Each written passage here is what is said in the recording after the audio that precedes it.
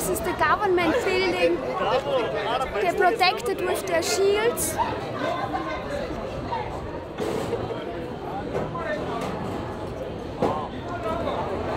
This is what happened yesterday when the riots were really wild.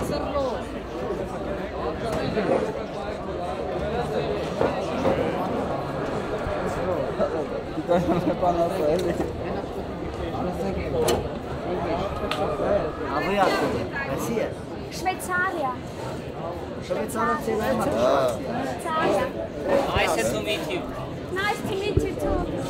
You protect the government. Thank you. Very beautiful in Armenia. Yes. Hayastan Lafne. Love. Lafne. Thank you. No, it's a very wonderful country. Thank you. But it's so sad what happened. It's very sad. How many was it? I you? cannot speak. you can speak. Yeah, I'm surprised that uh, the one policeman wanted to talk with us because I don't think that they were allowed. Yeah. no, and actually they all only talk Russian, and one could talk English, and then he was stopped by his supervisor. Yes, yes. It's a pity.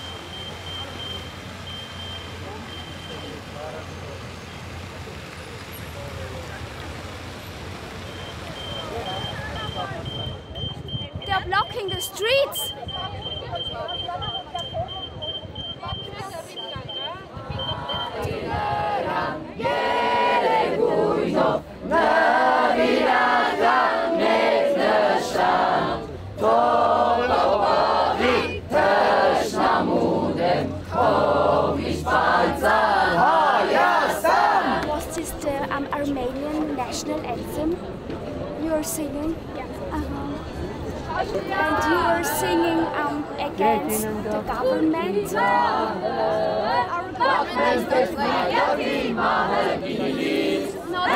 supporting Անգեր ջանգինիլից խմողացանուշ անուշ խմողացանուշ Զանգեր շատին բրես գետին գինիլից Անգեր ջանգինիլից Նուրասա որնիկ մոր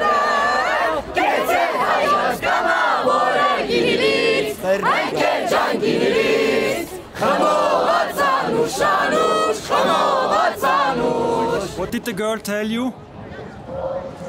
The girl told me that the people and the young people here feel very desperate and helpless, and the government is not doing enough. They are singing traditional Armenian songs Uh-huh, uh-huh. to Was get a that, voice. was that the national, the national anthem? And now here are many traditional Armenian songs they're singing. And she said, we just want to have peace.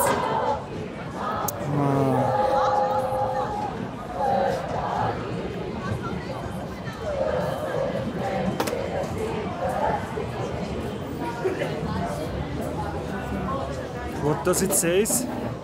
What's written? It says to organize urgent evacuation of Artsakh people. It's the right of people to live in their country, yeah, to live in, in where they want.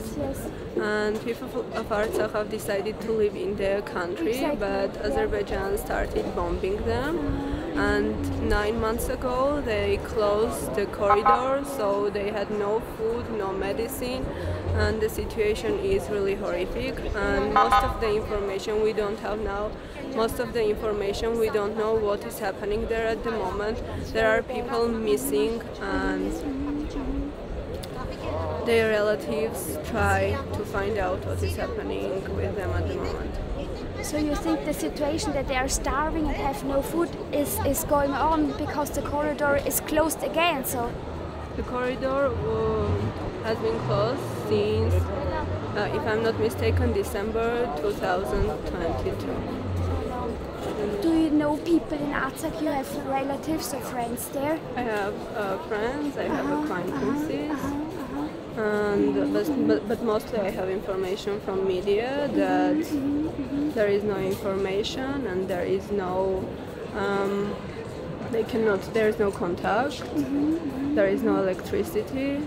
Maybe you have seen the pictures that people uh, seek for elec- electricity to charge their phones to let people of Armenia know that they are alive or their relatives are missing. There are many pictures on the internet of um, lost people and lost children, and according to the mm, formal information, five children have been killed, um, and 13 children are injured uh, after the shellings. No words. And Nikol is the minister, the Yes. prime minister. Yeah, that stands for Nikol Pashinyan. It's the prime minister. They want him to stand, step back. Look.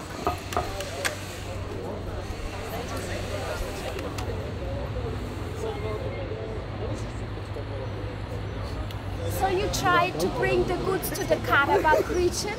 No, we won't bring it to Karabakh because the borders are closed yet. So we are waiting for the families to come. So we will be ready to give them clothes, food, Wonderful. to help them. So yes. some families are going to be evacuated Yes, and come yes, here to. Yerevan. Uh-huh. Yes, Yerevan and the regions to the regions. So we, You're so we do waiting this. for them. Yes, we are Wonderful. waiting. Do you we are have ready. Relatives in, in the Karabakh region? Um, me no, but I have friends Friends, and relatives who have them. So we have to help them. We are with them. Uh-huh. Did you hear how they are doing? Um, are they safe? Um, I don't think they are safe uh, 100%, but I don't know. And you think they would like to come or they would prefer to stay? I have no idea. Yeah. Some some, Some of will them come. will, uh, want to come to be safe Yes, to, yes. uh, for their families, and some would rather to stay there to Yeah, to yeah. be there. Yes. Schnora So Kalitsul, can I thank hug you. you? very good. Wonderful. so you haven't slept for two nights. You stayed all the time here. One night. One night. One night, yes. Yeah, but actually, uh, I would even say on behalf of Suren that he has not been sleeping for the last one month because before this, um, Suren was in the elections for the Armenia uh, for the Yerevan municipality, mayor's elections. So it took a lot of efforts, and then as soon as we had to kind of get back to normal, then uh, this horror started. Then this horror started, yeah. Could you foresee that something would happen? Would happen? I think everyone in Armenia could foresee this. Yeah. The genocide. Except is- some yeah, people. yes, Yeah. And it's it's except yeah authorities. yeah. So we actually have a government who is not only unable to protect us and to guarantee our security, but also many times proved to be uh, not willing, has no will to do this and no intention. And so, uh, first of all, we have to um, go into this process to change the government. And you wish that the people can go back to their homes, um, or in the meantime they should come here, like um, um, get evacuated to Armenia, or you think it's better that they get the chance to get back in their houses, or are they in danger because of the Azer- Azerbaijani? Actually, I don't know, but Yeah. uh, first of all, we have to ensure their security. Yes, of First course. of all. Yeah, yeah. There are also many missed. Um, Oh yes, uh-huh, Hun- hundreds are missing, uh-huh, uh-huh. if not thousands. Oh my god, yes. Mhm. I have no words because, you know, we're like helpless. We don't know what to do. We're just many are- observing and, helpless, so that's okay. and you try to do something We're going to stay here until we succeed. until you succeed. Okay. We wish you And we are of more luck. than sure that we will succeed. Yes, yes. We wish you only the best, yes.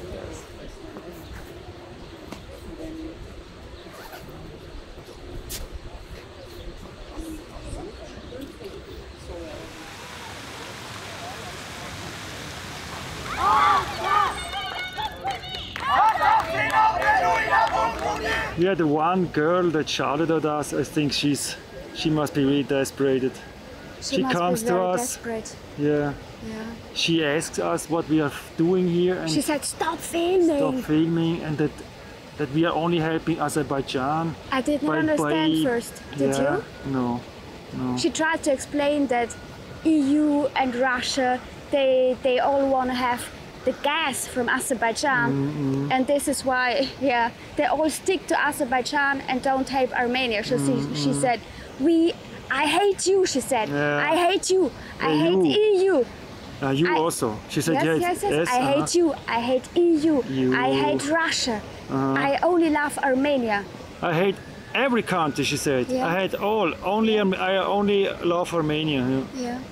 Yeah, let's see how the journey, Oh how the country is gonna be with this situation. This is not a first impression, Yeah. and it's a very bad impression, of course, being here during the war. I mean, It's the worst start you can have. thanks God, uh, I think now the, it's uh, It's a bit under control, under but the control. Yeah. suffering continues in Karabakh. Mm-hmm.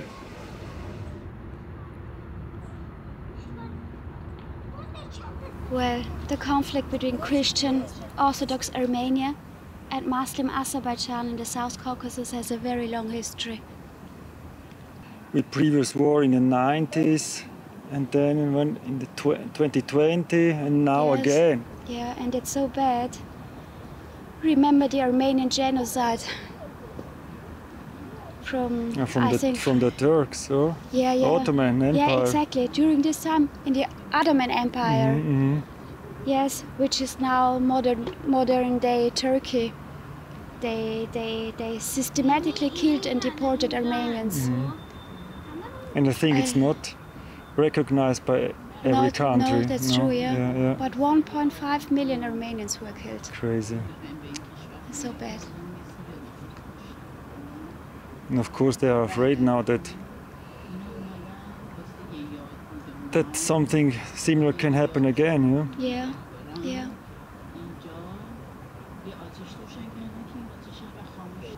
And that's Mother Armenia. That's Mother Armenia Mm-hmm. watching over Yerevan.